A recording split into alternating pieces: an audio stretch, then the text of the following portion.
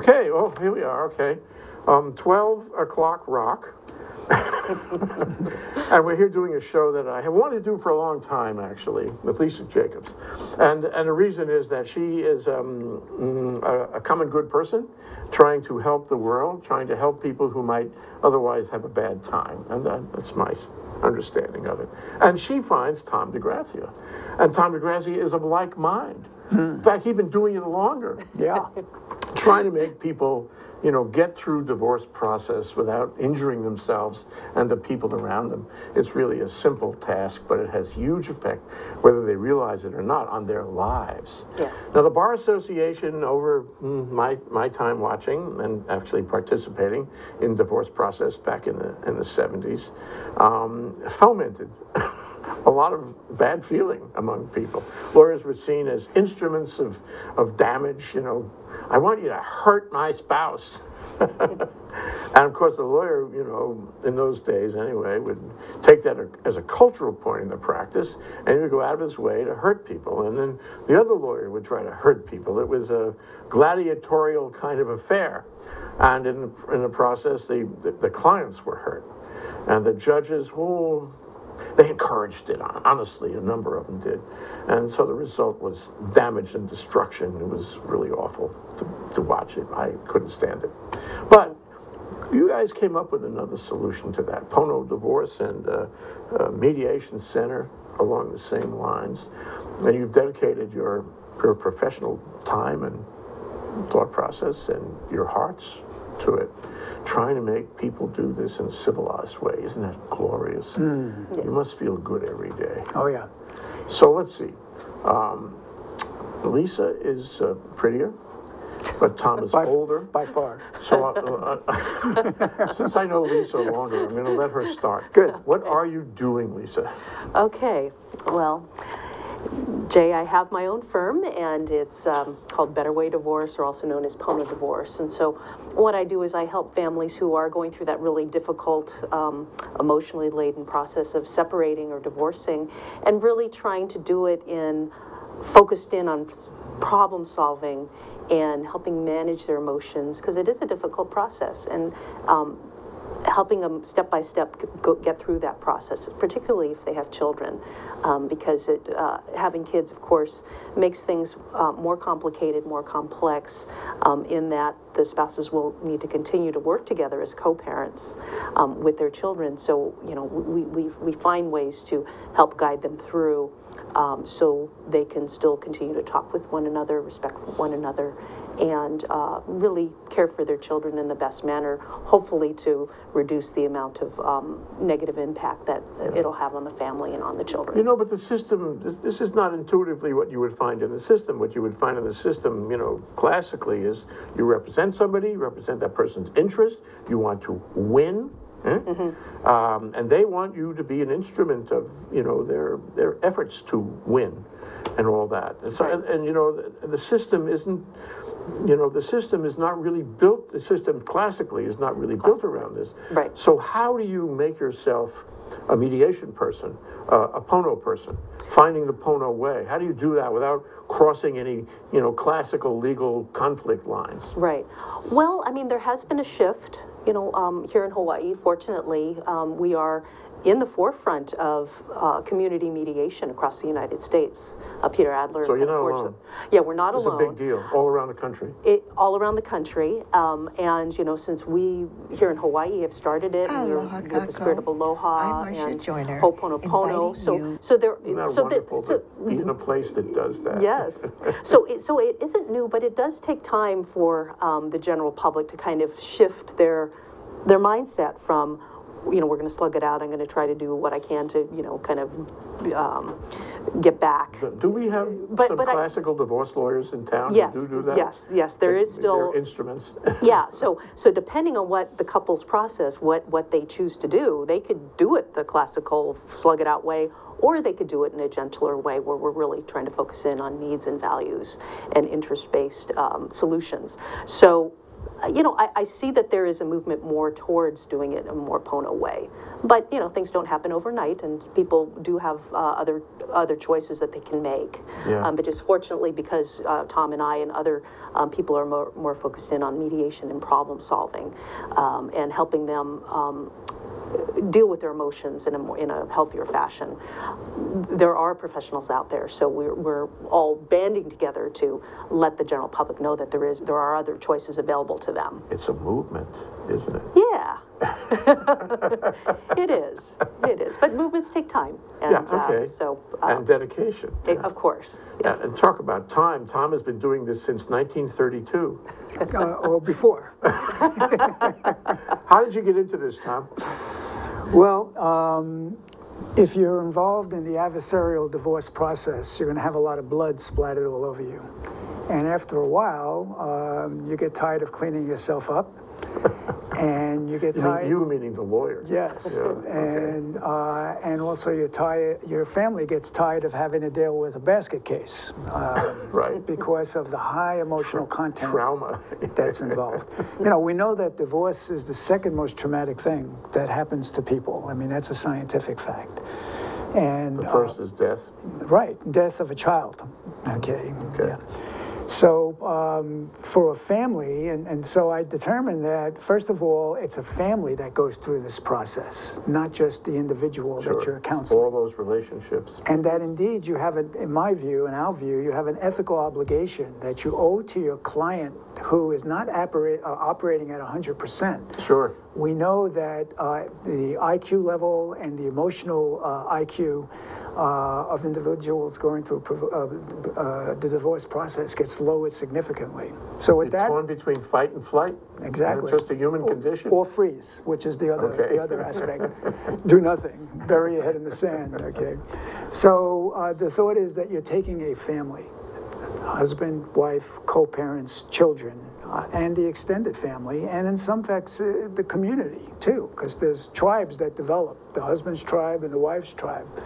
Right. And then there's all the new marriages that are going to occur, the stepchildren, and what have you. So complex. So you have a, a- in our view, the lawyer in that situation has a real ethical obligation to make sure that the clients that he or she is working with are making sound judgment decisions. Okay, and so one becomes involved in helping them transform their lives rather than seeing divorce in the usual cultural context as being a disaster.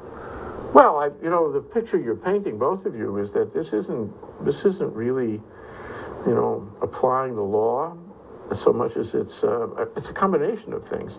It's applying the law in a, in a Pono way, in a humane way, um, and it's using psychology, it's using all cultural knowledge, um, it's, it's, it's attitudinal, and it's your attitude affecting their attitudes. It's um, a, a social experience, no? Yeah.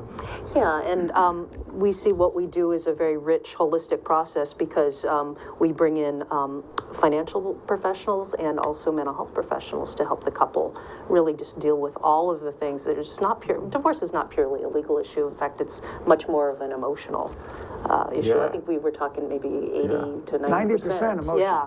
Yeah. Right. So if, if we can help them manage that um, and get them into a place where they're really, um, you know, um, really using their reasoning skills rather than just the knee-jerk emotional reactions. Yeah, that's what Um, the damage is. yeah. But, uh, You know, you, we talked about this before when you and I spoke, hmm, a couple of years ago, I guess it was. Mm-hmm. Yeah. And um, one thing I remember is this, this use of experts. Mm-hmm. So, and you, you put them in the same room, put them together, or do you go one by one? Um, the way I've been doing it is like for an initial meeting, we try to encourage the whole team to all meet together so um, people can get to know each other.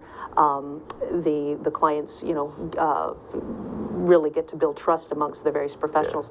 But because it gets to be costly, because you know each uh, professional is, is billing for his or her time, Yeah. we don't always have to meet all together. Yeah, but so the concept should be Yeah. that there's, there's a team. there's a team definitely. And, and that is more than just that you get the advice from all these, you know, experts.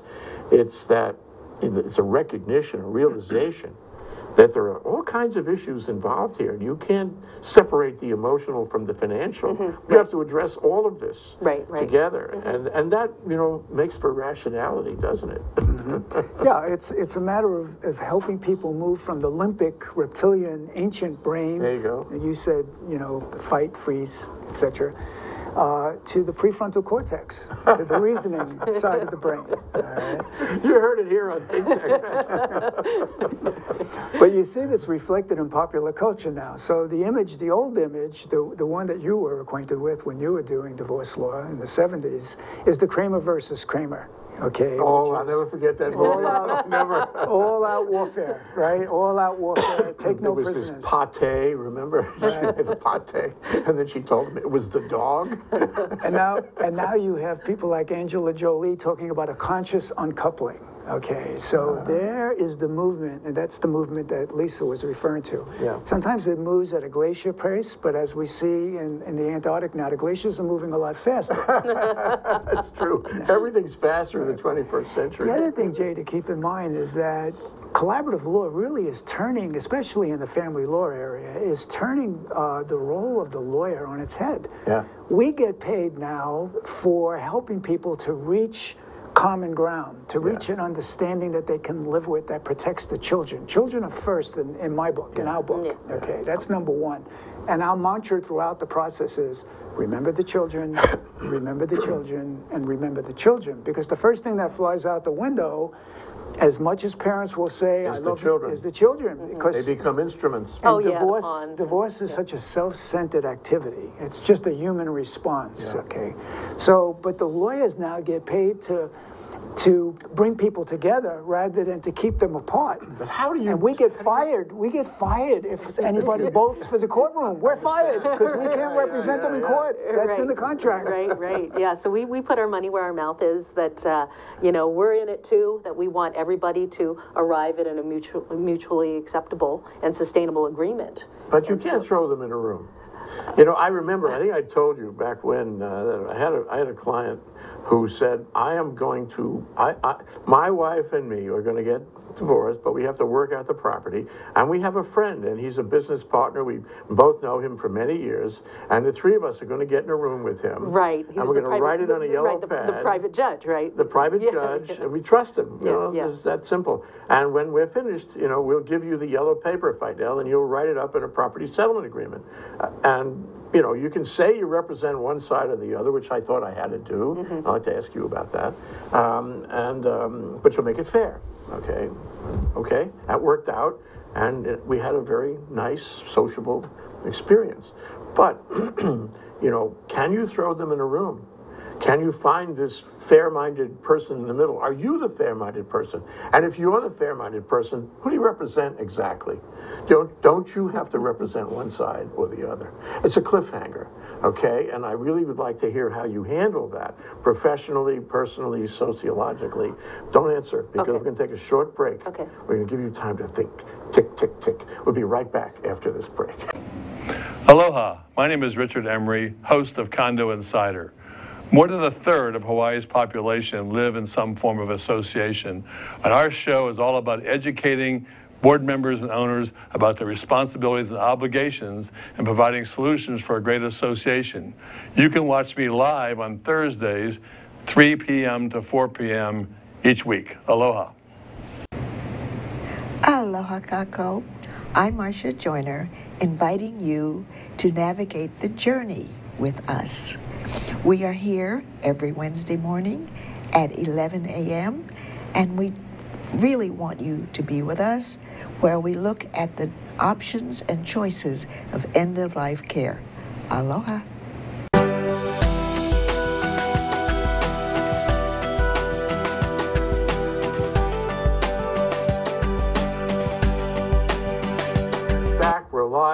Coming back on that cliffhanger.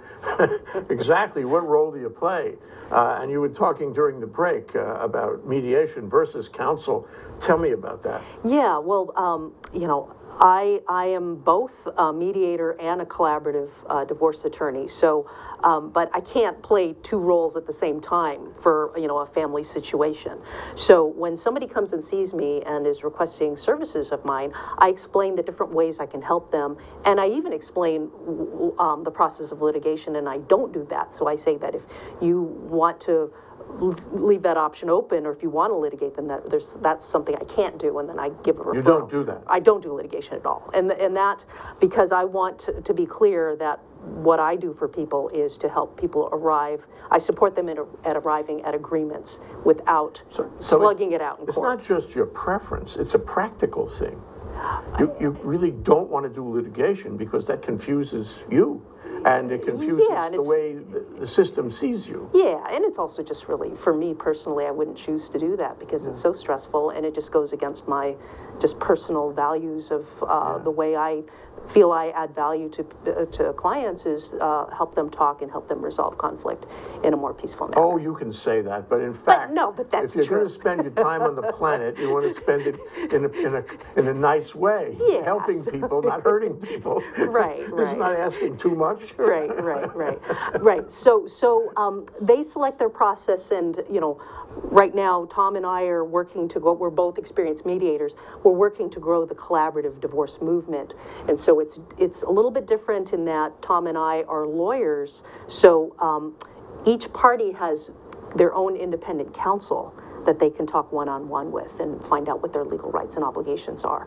But we do work as a team, a team with other collaborative lawyers and other professionals. How does that work? So I, I come to you and I say, Lisa, I need your help. And you say, well, I got this Chinese menu here. Right? column A, column B. You want me to be your lawyer? You want me to be a mediator? I say, I, I want you to be my mediator, right? yes. And then you say, well, you know, you also need to have a, a lawyer, a reasonable lawyer, and I will help you connect. Is this what happens? And, and I help you connect with somebody who can act as your individual counsel. Is that what happens? Correct, right. So if, if um, the person who contacts me and his or her spouse want to hire me, me as a mediator, I make it clear what my role is, and that if the mediation were to not work out, then I can't turn around and become somebody's lawyer, because I, um, my job as a mediator is to help both of them and remain impartial and neutral. Um, in mediation, um, we all, mediators will always encourage, um, parties before they sign an agreement. Um, you know, they really ought to have, uh, a consulting lawyer take, take a look at the agreement. Hopefully not shred it apart, because all the effort that the mediators and the parties So have you might refer me to Tom as, Correct. as my personal counsel, look at the mediation agreement, give me advice about that, and Right, for a limited time, so maybe not part of the entire process. just a but- project, just to look at this one document and advise me about that. Is that what it is? Right, right. So it could be for- more for a limited scope or a limited purpose, yes. Okay, so now, now we're in the mediation, okay? Mm-hmm. We're in the mediation, husband and wife are here together with you. Do, do they both have individual counsel in, you know, in that crucible? If they choose to, yeah. So I've done mediations where um, either one or both of them have attorneys that it, will attend with them to the mediation sessions. So you might, Sometimes you they might don't. recommend that I hire Tom. Uh, right, if they specifically ask for a referral for a consulting attorney. And Tom, as a mediator, might recommend that I hire you in a role as counsel, right? So it's just a different, wearing a different hat, but Mm-hmm. Yes. participating in the process. Yes, And you have to be very clear about the hat. Yeah, yeah. There's eth- huge ethical implications as to what hat you're wearing and making sure that the, um, if- for instance, if it's mediation, it's not my client, okay? If I'm acting as a mediator, it's a mediation participant. If I'm acting as a collaborative lawyer, then it's my client, Yeah. okay? And my first you to tell obligation them is to have, the make sure they understand that, yeah. Absolutely. The key here is education, not only in terms of the process that you're choosing, which is very important to be clear. Is it adversarial? Is it mediation? Or is it in the middle of that pendulum swing, which is collaborative law? Because there are cases, although mediation, in my mind, is the ideal way to go, okay, it doesn't always fit the situation. You have um, imbalances in bargaining ability, you have imbalances in financial ability, who controls the purse strings in the family, etc. So a lot of times, and it's often the woman that's on the lowest spectrum there, okay? And if you can't, if you're unable as a mediator, as a neutral, as a peacemaker to balance okay, that imbalance, then mediation is not the proper fit. Collaborative law, however, is right in the middle there because you have your lawyer, you have that assurance that that lawyer is there looking out for your interests, but at the same time, you bring a mediator sensibility to all of this, a peacemaker sensibility, I should say, that this should be settled in a way that's the least harmful, particularly to the children. And because you have a number of people involved, including the experts, you can say that the dollar per hour of process is going to be multiples and theoretically expensive. At the end of the day, it's not more expensive. It's way cheaper than having a fight, isn't it? Yeah. Fights are expensive. Yeah, fights get to be very, very expensive. So, yeah, even if they have a full team, typically they will um, save dollars. And then, you know, the value of what they're spending, of- again, is much more, they're, they're getting so much more value. You're getting karma. Yeah. Karma is everything. Yeah. Karma is how you spend your time on the planet. And there's another way of looking at it, and I sometimes explain this too, which is that, you know, when you were contemplating marriage, assuming that you could afford it, okay, you spared no expense. You got the best wedding dress, you catered the best affair you could, you invited all your friends and your relatives, the best champagne, all the planning that went into that. Now you're in another life transition here, and although it's totally different on the emotional side, you should put that kind of investment into it because you're looking at the future of your children. You're going to be co-parents forever. And if you can have a, if you can come out of this so you're not hating each other and respect what you accomplished as parents and when you were married, then you've learned something and you bring that to the next relationship, things are going to be a lot better. And your co-parenting chores are going to be in, in so much easier, and you're not going to go back to court 15 times because you feel you got screwed on the alimony, Yeah. or you should be getting more child support, or whatever it might be. Just like you wanted to build a good marriage at the beginning, you want to build a good second chapter, or next chapter. exactly. Where everybody gets along and you invest uh, for a good return. but let me go to the point of what happens when it doesn't go according to plan. And then you try to get people to understand how this works and, uh, and all the benefits of going through a collaborative process, but they don't get it and they go back to that reptilian thing. Okay. how, how does the lawyer, how does the mediator deal with that?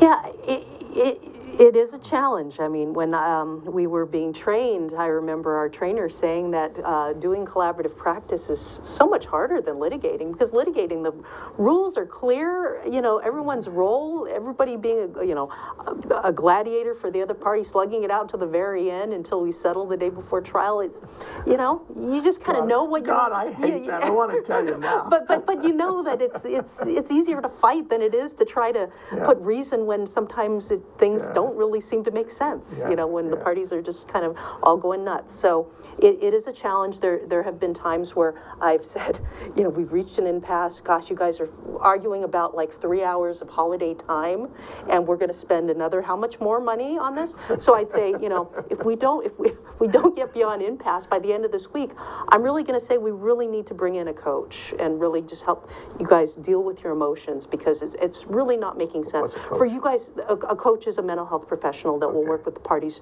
to get them emotionally prepared to move One forward. One for both of them. Well, they could do one for both of them, or they could each have their own coach. It's like a marriage counselor kind of thing. Sort of, yeah, but they're, it- rather than Divorce going, it all, yeah, instead of going through all the past hurts and everything, we really try to focus them in on the present day and on the future. yeah. Um, so yeah, it's getting them focused to really just be prepared to fit, to really, you guys are so close to the finish line, let's just get past, you know, get so past you that got to be line. the, the the you got to orchestrate this.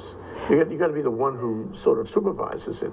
Yeah, to And kind there of manage the must the become process. time. There must come times when you can't, when they are breaking stride. When it, I, I know if you get better at it, that'll happen less. But does it ever happen? Well, um, let's see, have I had it? Maybe I can be helpful here. Yeah. There's a whole chapter in my book that was published last year in 2016 called Light on Peacemaking, How to Deal with Those Difficulties That Arise. And they do arise on a fairly regular basis. It's a very, very good question. One answer is the selection of the clients that you're taking.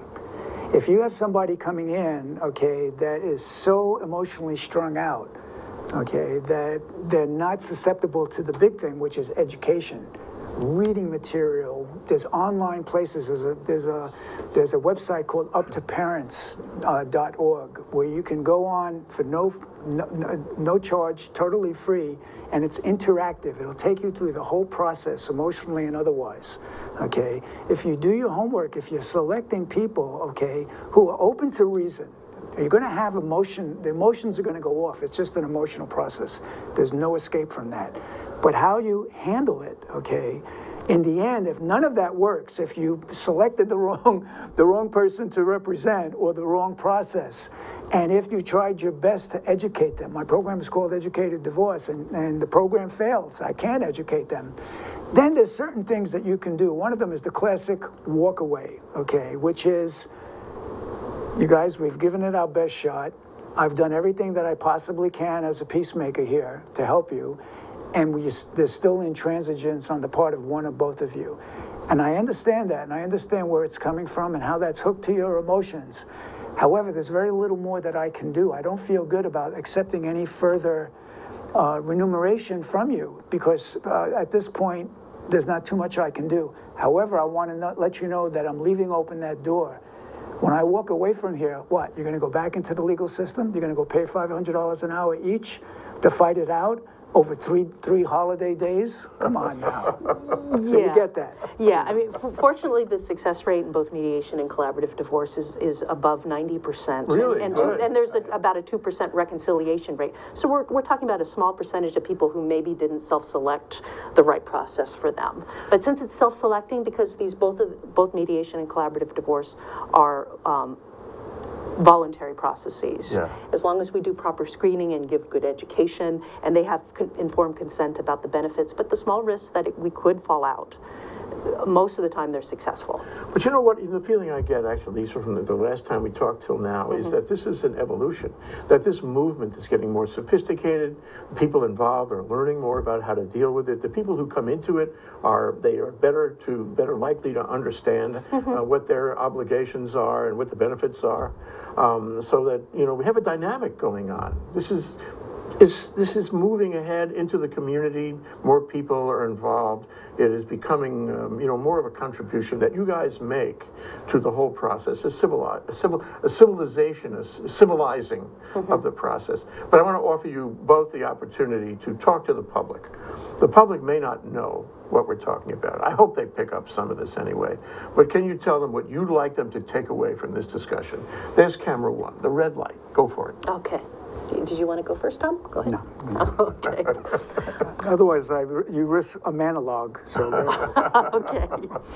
Well, we wanted to um, let the public know that there are uh, different ways that they can work through conflict, and uh, collaborative law is, is one way where um, you have the independent advice of your own lawyer, but you also have a team of, of professionals out there to help you, including um, the other party who right now you're presently not in full agreement with.